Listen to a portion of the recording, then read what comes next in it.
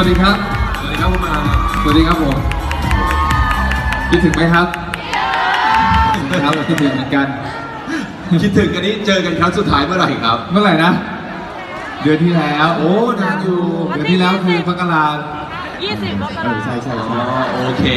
นะครับ ซึ่งวันนี้ครับคุณหมากแน่นอนนะครับว่ามาเป็นตัวแทนของทางซิติเซนด้วย ใช่ครับ แล้วก็มาพร้อมกับความพิเศษของนาฬิกาซิติเซนนั่นเองครับผม